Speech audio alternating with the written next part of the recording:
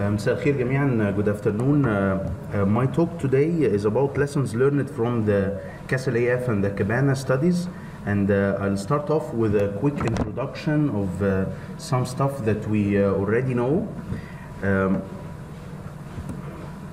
so AF is of course one of the major causes of stroke heart failure and cardiovascular morbidities all over the world and it's independently associated with twofold increase of all-cause mortality in women and 1.5-fold increase in the same thing in men. So the main lines of therapy would be AF prevention, stroke prevention, rhythm control, rate control, and AF surgeries. These are our tools to handle this complex uh, arrhythmia. Um, it always has been considered a, a complex uh, uh, disease with a complex mechanism that is uh, multifactorial and variable from one uh, patient to the other. But uh, two main mechanisms has been uh, co- taking considerable attention, namely triggers, whether it pulmonary, be pulmonary vein triggers or non-pulmonary vein triggers, and mechanisms that perpetuate atrial fibrillation. So this is the seminal observation that was uh, uh, observed by Haïssaguerre and colleagues, uh, pointing to the fact that ectopic um, from the pulmonary veins is associated with the development of atrial fibrillation in the majority of patients. Uh, as we uh, went along, um, beside the pulmonary veins, there has been non-pulmonary vein triggers that include the left atrial appendage, the coronary sinus, and the superior vena cava in some patients. Um, so triggers aside, mechanisms that perpetuate the atrial fibrillation is uh, either electric remodeling that involve a process of inflammation and oxidative stresses that leads to altered calcium handling and eventually cause perpetuation of atrial fibrillation. On the other hand, structural remodeling that involves atrial stretch and atrial fibrosis together with the development of left ventricular dysfunction are all factors that are mechanical and lead to the concept of atrial fibrillation begetting atrial fibrillation. Uh, this is an important slide uh, that I have uh, came across. Um, it reviews the literature on several axes of management of atrial fibrillation. So uh, first, the green axis is the axis of prevention atrial fibrillation that reached the step of the RACE 3 study, uh, which is a study denoting that uh, risk factor modification that includes physical activity and weight reduction together with ACE inhibitors, ARBs, and statins could be very beneficial in prevention of recurrence of persistent atrial fibrillation.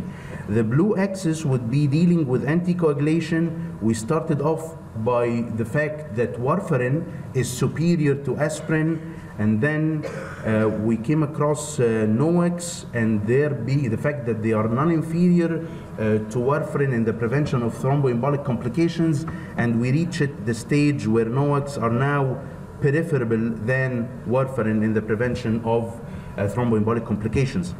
Um, an important axis of note is this purple axis over here that deals with the prevention of atrial fibrillation interventionally, namely pulmonary vein isolation.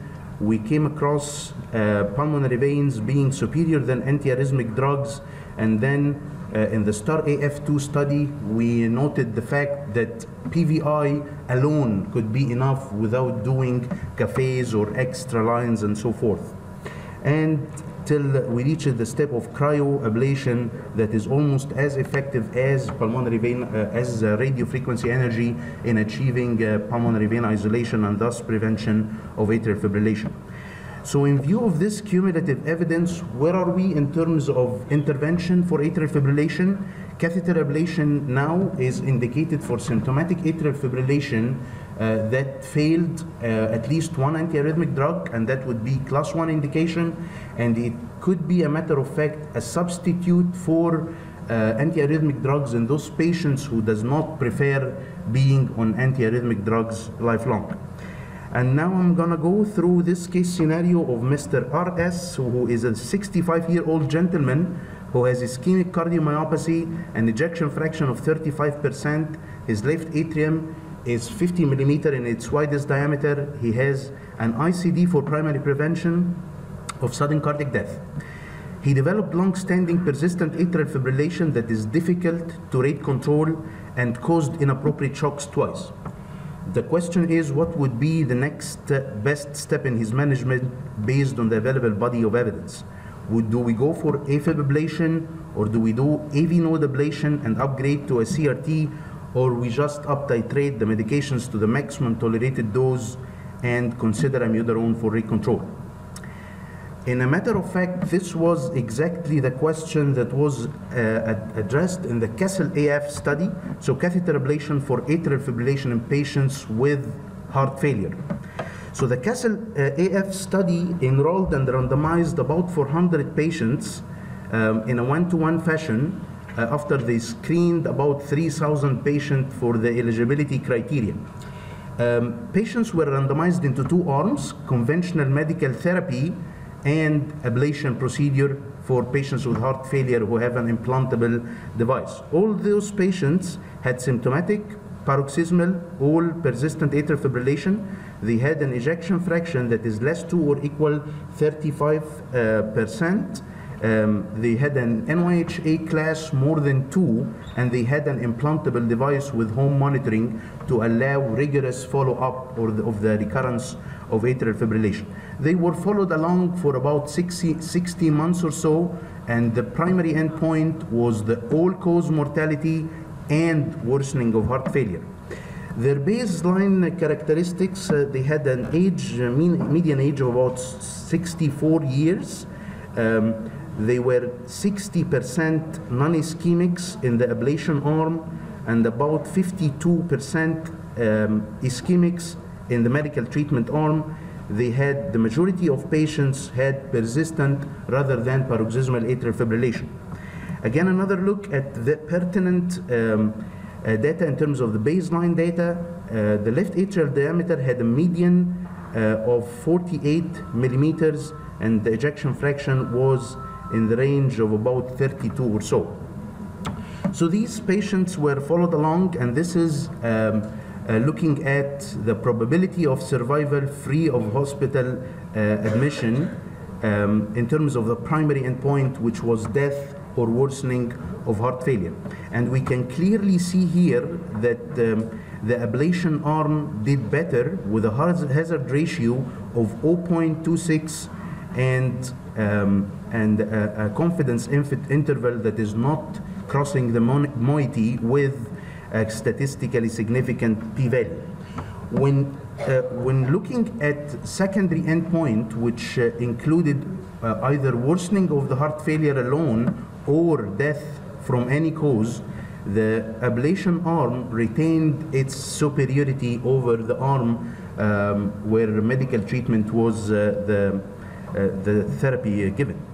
So that means that catheter ablation for atrial fibrillation in patients with heart failure was associated with significantly lower rates of the composite endpoint of death from any cause or hospitalization for worsening of heart failure. And that would be one of the important studies because of the fact that it showed mortality benefit for ablation of atrial fibrillation in this particular uh, group of patients, patients with heart failure. So now we go to another scenario. This is Mr. A.H., who is a 53 year old gentleman who has a structurally normal heart and paroxysmal atrial fibrillation that has been recurrent on sotalol.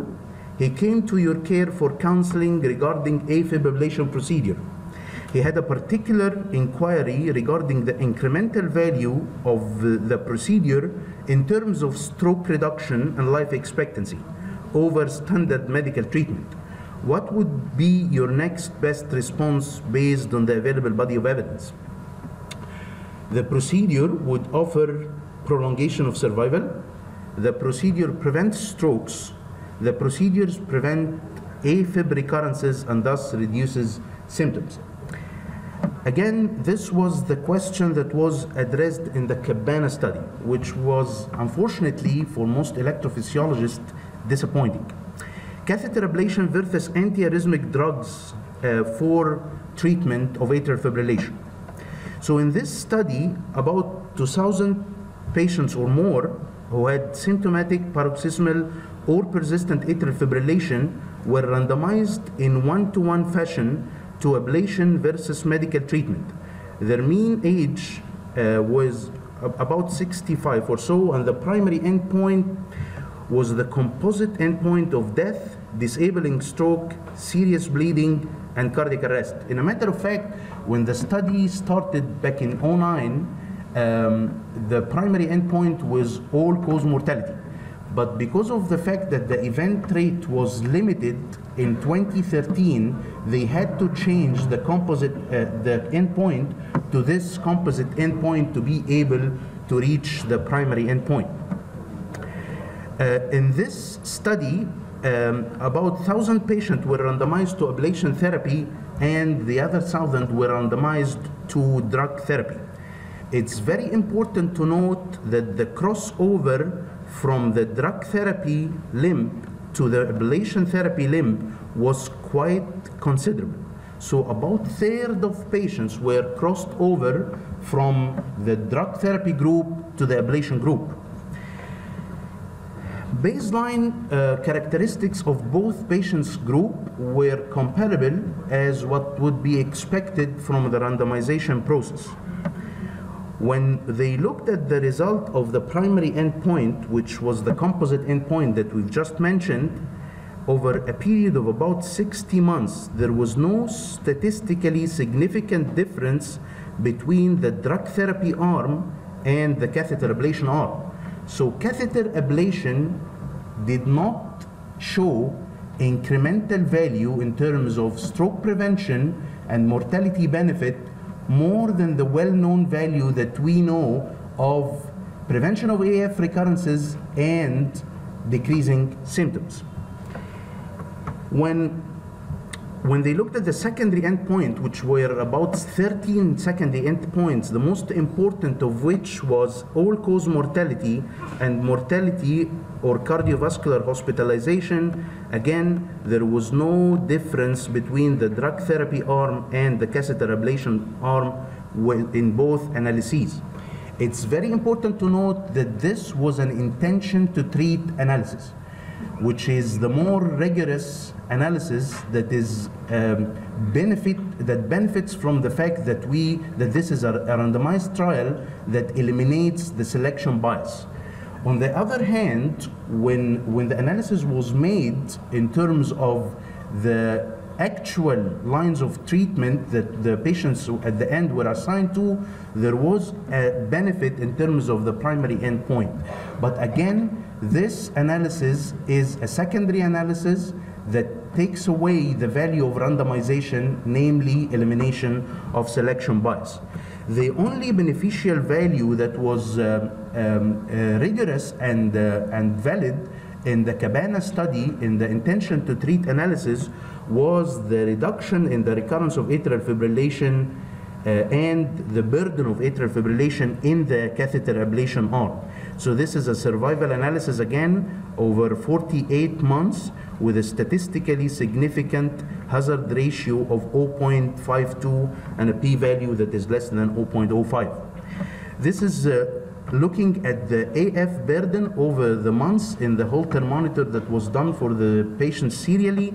And as you can see, the blue bars stands for the drug arm and the ablation bar, uh, the, uh, the orange bars stands for the ablation arm. And it was consistently lower on follow-up more than six months and beyond that the AF episodes were higher in the drug therapy arm. So to conclude, among patients with atrial fibrillation, the strategy of catheter ablation compared with medical treatment did not significantly reduce the primary composite endpoint of death, disabling stroke, bleeding, or cardiac arrest. The estimated treatment effect of catheter ablation was affected, number one, by the lower rate of expected events, which eventually led to changing the, pr- the primary endpoint, and the fact that there was a significant amount of crossover from the medical treatment arm to the ablation arm. So to wrap up, the lessons learned from the Castle AF and the Cabana study, patients with atrial fibrillation and AF benefit the most from catheter ablation regarding reducing mortality, which is a very solid endpoint that we could not reach up till now in the general population of AF patients, hospitalization, of course, AF burden. The Cabana did not really change how we think.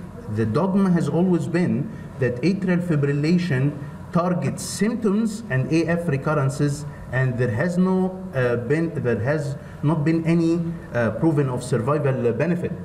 Uh, Cabana failed to show an incremental survival benefit over the already known benefits of atrial fibrillation ablation. Cabana confirmed that AF ablation can be done with a low rate of complications. The improvement in the quality of life is significantly greater in patients who are undergoing uh, catheter ablation when they are compared to those who are on medical treatment. Ablation was significantly more effective than the drug arm for decreasing AF recurrences regardless the type of atrial fibrillation. And with that, we stop. Thank you so much.